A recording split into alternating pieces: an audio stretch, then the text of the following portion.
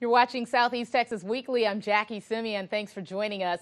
If you're like a lot of people, you've promised yourself that you're going to be healthier by exercising more this year. Well, you can put your best foot forward by making sure you give your feet the attention they deserve. Here with advice to keep you on your feet is foot and ankle surgeon and physician, Japera Levine. Thank you so much for oh, joining us. It is my pleasure, trust me. All right, uh, Dr. Levine, you are from this area, mm -hmm. but your practice is new yes. in Beaumont. So tell us a little bit about your background. Yes, um, I am a graduate of Westbrook High School, so I'm a Bruin by nature. um, went to the University of Texas at Austin, and then they later went to podiatry school at Temple University, which is in Philadelphia. Um, following that, I did my surgery training at both um, in Boston and Chicago and uh, joined a practice in Baton Rouge. And so that's where I've been for the past two years. However, um, decided to come home um, and obviously give back to the community that raised me, and that's very important to me. And so opened my practice and my doors, hung out my shingle on January 2nd, and it has been truly a blessing ever since. Well, welcome home. Welcome oh, home. it's We're been a blessing. back. Yes, ma'am. Yes, ma'am. Very good. Now, tell us about you know most of us uh, when we start the new routine at the beginning of the year, we're more uh, interested in the new uh, outfits. oh stuff, yes, uh, the workout outfits, and we may not uh, you know fully uh, get the equipment we need for our feet. No, and, no. You know, it's very important that it is. We give our feet attention. Absolutely. We're on our feet. Absolutely. I can tell you that a lot of both ladies and men, they come into my office, as I told you during the break, they hobble, they limp into my office. And a reason being, we call them weekend warriors. These are people who typically don't work out. Their doctor may have said, you know what, you need to lose a couple of pounds. They've just been diagnosed with some sort of disease. Um, they may have a New Year's resolution. And then they do too much too fast. Mm-hmm. And the body is like, whoa. And so because of that, you know, they come in and they're hobbling. And I tell them, like, you're going to have to slow down. You're going to have to ease into that transition. I ask them about what they're wearing because a lot of times we, we don't know particularly what to go and purchase, but we know it matches. Right. And we know that we want to be color coordinated, and that may not be the best for you. Um, I can tell you that a lot of my patients, I definitely look at their shoe gear, what they do have on, and a lot of it is not appropriate.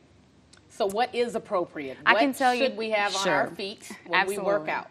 I can tell you that typically if you go into the mall and purchase a pair of shoes on your own, like, hey, that's a cute color, that's typically not what you want to do. You want to go to a store that the sales staff are trained as to what their merchandise is and what they can offer. They typically will examine you, just like I would in my office, and they will recommend a shoe for you. So if you're buying shoes totally on your own, you've already done the wrong thing. Absolutely. You need you need some assistance. A lot of people have a lot of conditions in their feet and then you go out and run two miles on the first day, you're gonna ache, okay? And so because of that, um, you know, I typically look at their shoes. A lot of patients, they come in and they've had these shoes for 10 years, okay? That's not what we wanna do.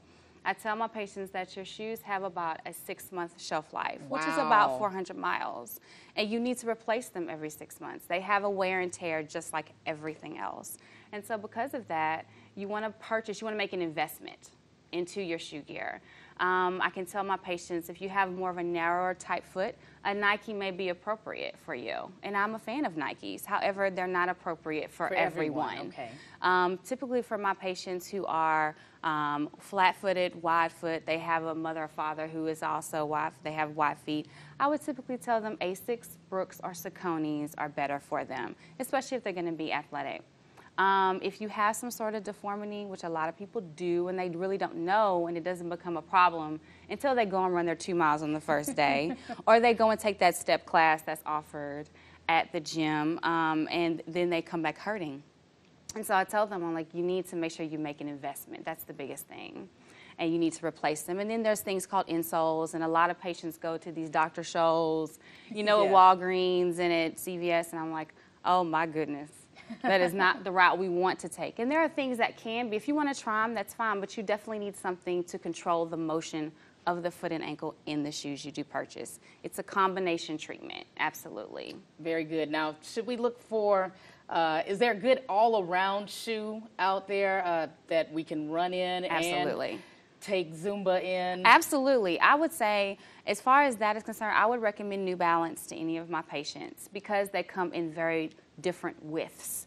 You can get them in a very narrow and a very wide, and they're versatile to where you can do very high impact as well as if you want to do if you want to go to your yoga class and i know that yoga class is obviously barefoot but it's a very versatile shoe you can go to what used to be astroworld or um, you can go and walk around the park but it is a daily shoe that you can wear and utilize for many things absolutely Very good. Now tell us where your offices are located. absolutely um, it is located on the baptist campus in the 3070 building right by the adult er and it's suite 100 or right when you walk in on the right glass doors can't miss us Very good. Well, we appreciate all of your help. I'm going to go home now and throw away some, uh, throw away my tennis shoes and uh, maybe have you look at my feet. you. Absolutely. Well, we again we welcome you back to Beaumont. It's been we a wish pleasure. you, Thank uh, the you. best of luck with your practice here Thank you. town. Thank you so much. Thank, you for having me. And thank you for joining us. This has been Southeast Texas Weekly. Have a great day.